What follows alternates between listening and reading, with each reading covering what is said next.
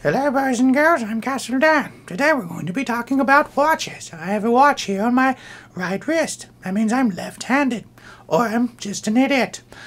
Either way, watches were invented in 1312.